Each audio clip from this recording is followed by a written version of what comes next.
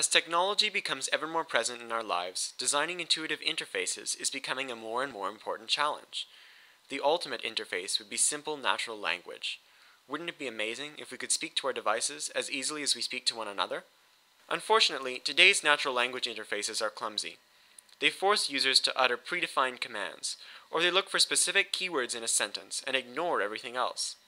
I designed a novel algorithm called Caspar, which takes a fundamentally different approach.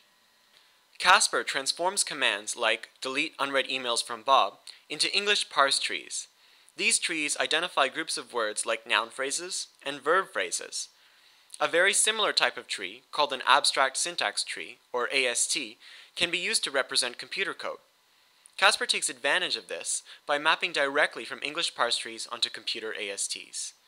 This technique works well for compound commands, because trees naturally break down complicated sentences into simpler parts.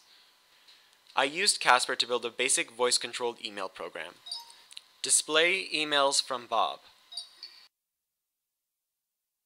I could also have said, show emails which Bob sent, show messages which were sent by Bob, or even find all the messages which were sent to me by Bob. I could have added a modifier, like unread, or I could have found emails from more than one person. Caspar also knows about time periods. Once I found these emails, I might want to open the attachments in them, or forward them to Joe.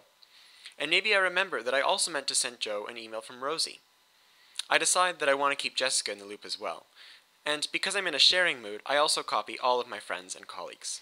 This command is now more complex than an average user would ever utter, but it illustrates what separates Caspar from existing algorithms. Caspar excels at mixing and matching modifiers, and at combining many different types of commands.